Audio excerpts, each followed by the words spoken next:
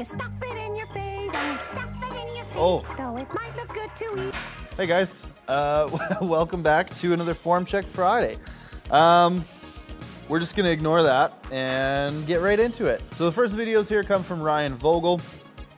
Now, Ryan Vogel sent me a number of bench videos here. The biggest thing I'm noticing immediately, uh, Ryan, is as you unrack, we're losing all the tightness in your setup. So as a general rule, I'm seeing things are rushed a little bit. Uh, there's another single here. Seeing things are rushed a little bit. We're pausing a good length, but we're also kind of doing a double dip before we press. The other thing I'm seeing is just sort of a lack of control overall. So I understand, and a third single, I understand that these are getting up towards uh, you know 100% territory. But what I'd like you to do with your sets and your, your sorry your work sets throughout most of your workouts is try to slow things down a little bit, be a little bit more patient, a little more controlled, and a little bit more deliberate.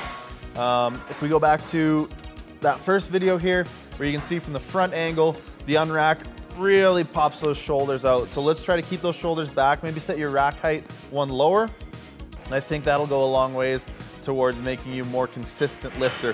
One of the biggest things with having things uh, rushed or a little bit uncontrolled can be that things become inconsistent and hard to replicate. Uh, we always want to try and make things as consistent as possible. The more variables we can eliminate, the more things we can keep from going wrong in a lift. This next video comes from Oliver.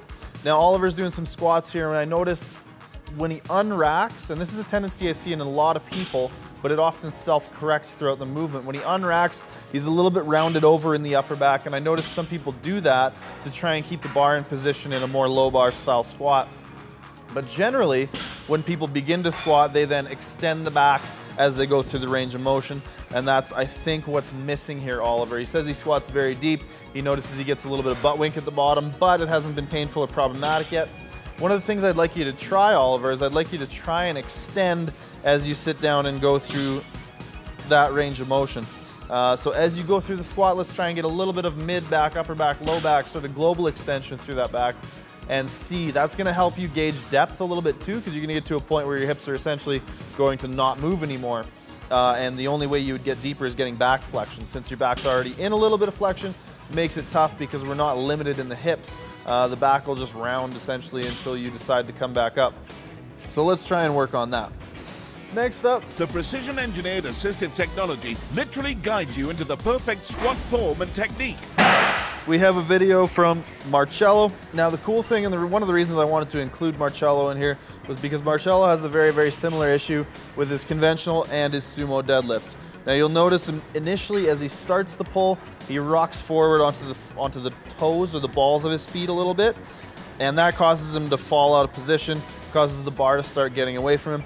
You can see it here in his conventional deadlifts, a couple of reps there, and you can see as he starts, everything kind of comes forward a little bit, and you can see the same on his sumo deadlift. Again, as he starts, everything kind of rocks forward a little bit, and especially in the sumo deadlift, getting away or getting allowing the bar to get away from you like that can be a big, big uh, issue when we start to get into heavier weights, when we start to get into you know sort of one rep max territory.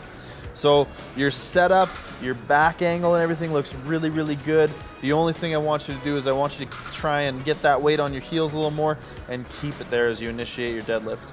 This next video is a competition video from Russell. Now, Russell's doing a deadlift here in a meet, and you'll see as he comes up, he kind of slides it up his thighs, his knees go out underneath it. Uh, I think a lot of this is the result of back issues. Um, Russell said he this was a national record, and he got red lighted for it because the bar rested on his thighs as he came up. His feet are collapsed, his knees are in, and his stance is fairly wide. So what I would want you to try and do, Russell, is I want you to try to widen your stance, or sorry, narrow your stance up. I would want you to narrow your stance up to repeat.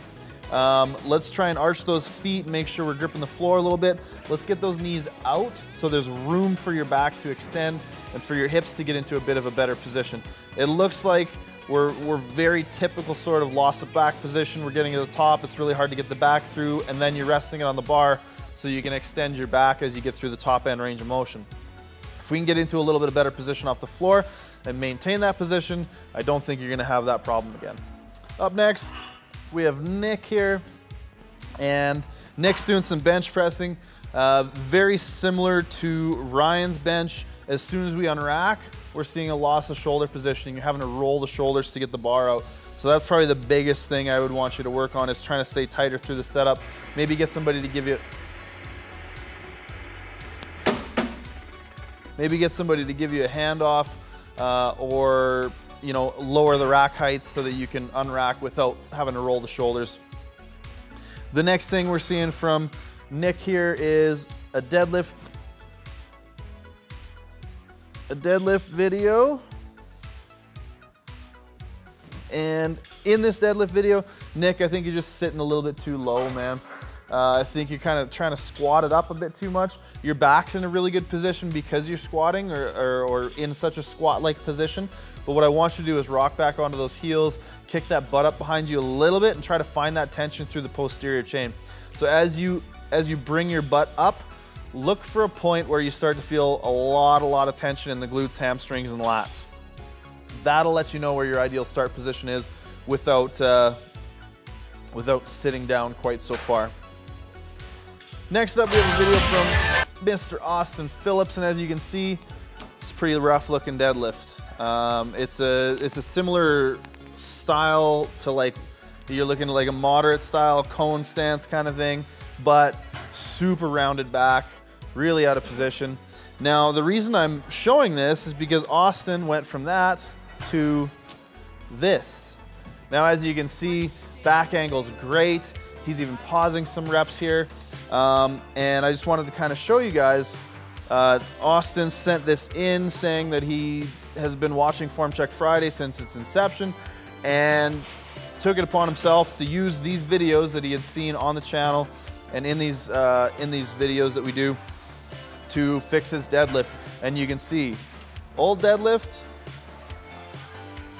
new deadlift. What a difference. Uh, I'm really happy to see that. I'm super stoked for you, Austin. Uh, and I just wanted to put that in here because I think it's really cool.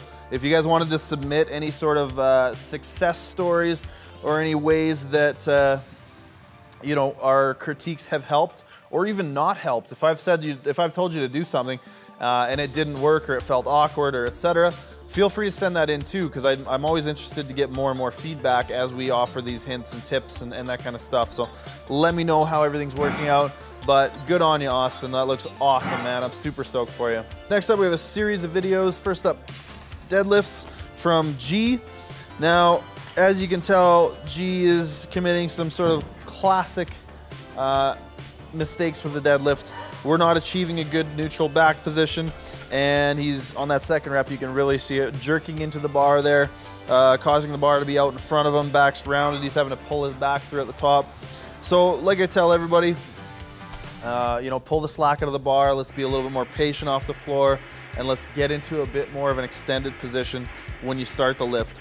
Now, as well as those deadlifts, we also have some bench here from G.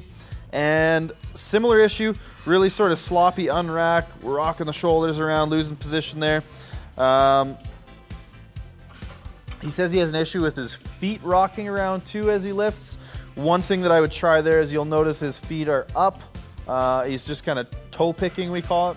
So what I would try to do is I would try to actually drive your heels all the way down until they're touching the ground and use those to push yourself up the bench towards your head to keep the chest up, to keep those shoulders pulled down into position, and to reinforce that position throughout the entire lift.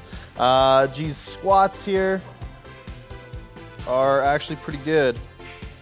Uh, I don't see don't see a whole lot wrong. Don't see a whole lot wrong with G's squats here. Uh, not the greatest angle, but we might be a little wide in the stance. Might be able to, to bring that in and limit things uh, collapsing a bit out of the hole. I think that's one of the reasons we hit that sticking point so hard is we're a little bit wide. We're having trouble maintaining that sort of knees over ankles position. So let's try and bring the squat stance in just a tiny bit and hopefully that helps you. Again, that's it for Form Check Friday today, guys. Thank you so much for tuning in and we will see you guys in the next one.